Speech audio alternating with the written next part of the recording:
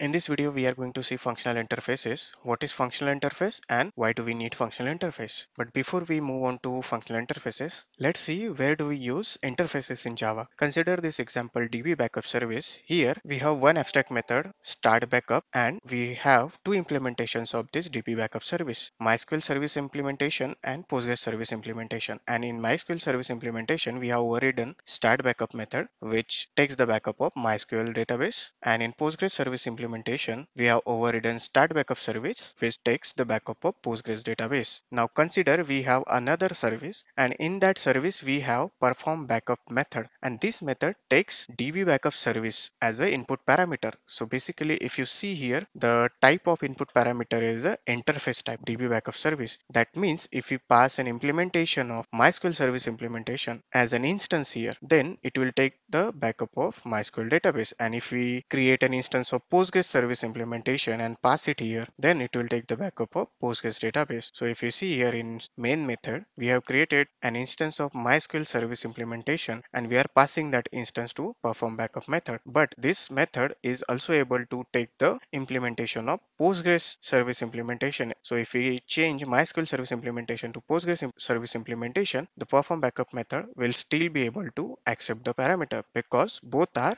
DB backup service type, right? And depending upon the type of instance, the perform backup method will behave. Now, if you see here, this DB backup service, right? This is an interface. So basically to hold the actual instance reference, right? This is an actual instance reference. We need interfaces. So here interface hold the reference to this actual in instance, right? So here we need interface and another example is to hold the type of input parameter. So basically these are two important locations where we use interfaces. The first one is to hold the reference to an actual instance and two hold the type of input parameter. Similarly, if you see here in this example, this x arrow x percent to equal to equal to zero, this is a lambda and to hold lambda into a variable, we need functional interface. And similarly, if you see streams API, for example, filter here, the streams API filter, it also takes lambda, but the input parameter type mentioned in filter method is functional interface. If you want to check in IntelliJ IDE, we can check it. We have written lambda here and this lambda, where do we store? We store this lambda as a functional interface variable, right?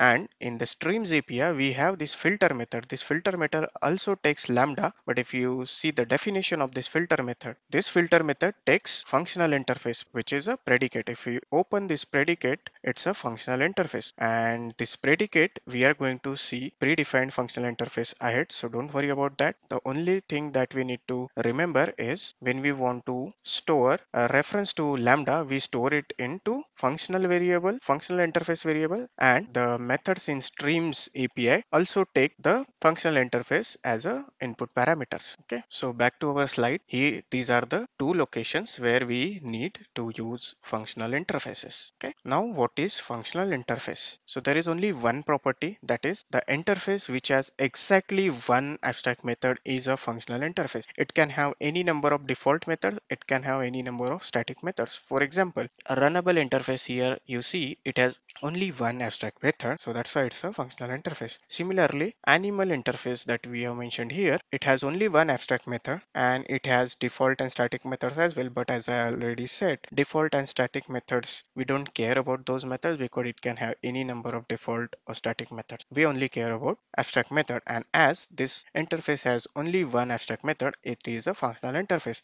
And you see here at the rate functional interface annotation this annotation is not mandatory. Even if you don't write this annotation this is perfectly valid the reason to add this at the rate functional interface annotation is that if you try to add one more abstract method into this interface, compiler will say that no, you cannot add two abstract methods into an interface which is annotated with functional interface. So for our safety that we don't accidentally add an abstract method into an interface, right? We should always write at the rate functional interface on this interface. Okay. So that is all about enter functional interface. And in next video, we are going to see predefined functional interfaces. So thank you. Bye bye.